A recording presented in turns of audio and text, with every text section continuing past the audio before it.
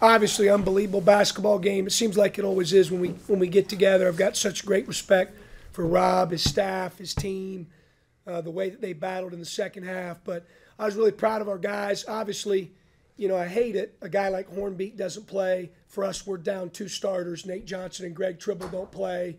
And I hate it for those guys that they don't get to experience, you know, the the rivalry. It's it's uh, you know it's it's unlike any game you play. Um, that's the reality of it. You know, as coaches, you like to hear us say, "Oh, it's you know, next game's most important game. You know, they're all the same." It's uh, it's, it's such a different deal. These guys would tell you that. So I was really proud of the way we had multiple guys step up that played more minutes than normal tonight, that had different roles than normal. We had another different starting lineup with the two starters out.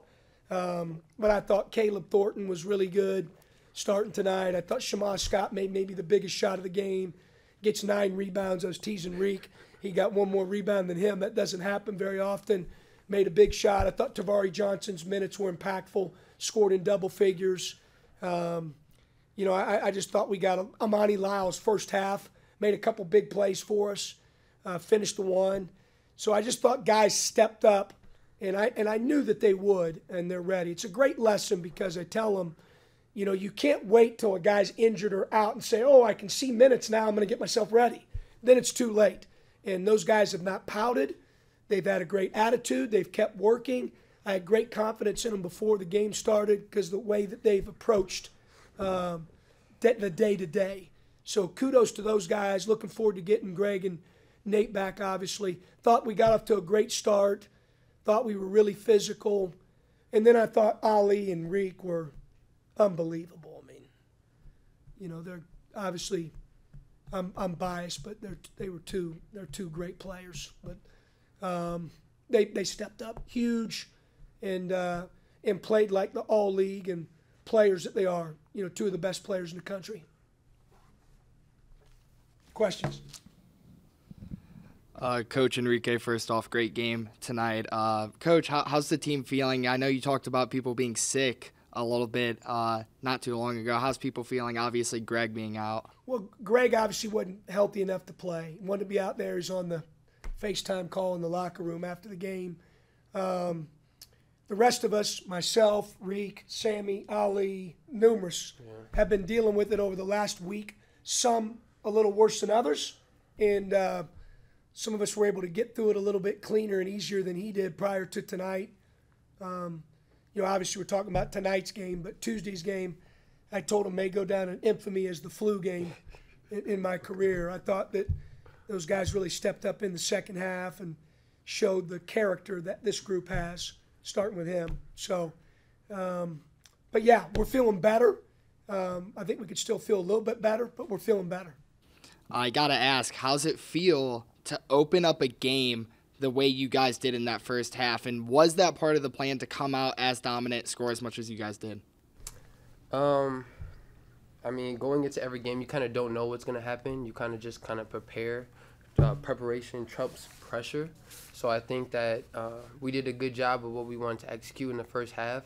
Uh, we made some good. We made we made played some good basketball, got some good shots. I think we definitely stepped up on defense in this first half. Um, uh, but other than that, I mean, you can't really go into the game like saying, "Oh, we're gonna go on a seven like 17-0 run," but um, we we did it, and we you know that helped us big time in this game, especially against a good team. Yeah, Enrique, a few different guys guarding you tonight. It would go from you getting solo to you getting double teamed. Kind of explain that because it's a lot more different than what you've been dealing with this season. Yeah, I mean, uh, I've seen a lot of traps so far. Um, so i I'm just trying to do a good job in reading it and trying to get guys open shots. I think we had a lot of open shots tonight. You know, we didn't we didn't get everyone to fall, but I think we did a good job executing the post trap for sure. Uh, Enrique, for you, uh, Kent went on a bit of a run in the second half. Uh, what did you guys do defensively and maybe media timeouts, different timeouts to kind of combat that offensive run? Well, they uh they shot really well from three. So we, you know, we had to emphasize guarding the three a little bit better. I know Freeman had a few. That sounds weird saying another Freeman. yeah. Freeman had uh, some good good threes in transition. He was great. Uh, Santiago had one. Um, I just think they made big plays. They're they're great players just like us, so they made plays to get in this ball game. So, as us, we have to respect it and try to try to stop them from shooting threes. And then, coach, for you in the second half, uh, you and Ali obviously got a little little heated after the call. Did you get an explanation on that? And what is it like to kind of be in a rivalry game like that? How does emotion come into play for you? Well, I mean, these guys are trying to do the best job they can. It's hard, right? It's there's a lot of emotion during the game. My opinion, I thought Ali's technical was warranted. You know, he's got to be smarter. But I didn't think the other one was, especially when you know you got a guy doing the airplane down the court and talking to our bench. Just want consistency. So either let them both go, or call them both technicals. That's all. And then last one for you, Enrique. Uh, obviously, Akron Beacon Journal came out with a headline earlier this week uh, talking about Chris Payton saying that when you both are at your best, uh, that he preferred that he was the better player. Did that have any extra motivation for you coming into this game?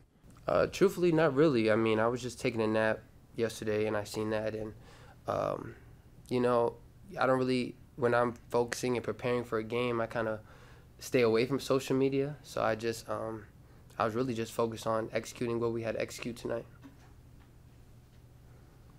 You know, for me, just, you know, obviously he's a really good player. He's had a great year. He's continued to improve from year to year. I've got a lot of respect for Chris. I think he's a really good player. Now, would I trade, and, and Rob would probably say the same thing about Chris. Am I trading him for Chris? The answer is no, unequivocally. But Rob would probably say the same thing for his guy. You know, we all love our guys. They're both very, very good players. Hey, Enrique, down the stretch. I mean, just what your mindset. I mean, they they cut it to like three, big rivalry game, and you guys, you and a couple of the other guys, always seem to have an answer for it. Yeah, I mean, you know, we we get put in these positions in practice. I know we we run seven minutes on the clock, down three. You know, got to make big time shots. So we work on it. You know, we got good players. We have good personnel. We have good team chemistry. Uh, no one on our team is selfish. We, we're willing to share the ball. So I think we just made the best reads for our team, and that's what honestly got us the game today. Uh, last one for me. A lot of people, uh, Akron fans watching you guys on national television, a lot of people came out in the awful weather to make it out. What do you guys have to say to the fans tonight, and how important was that to have them in the crowd? Oh, thank you to the Rowdies. The Rowdies made some noise tonight. I, to be honest, they made a lot of noise.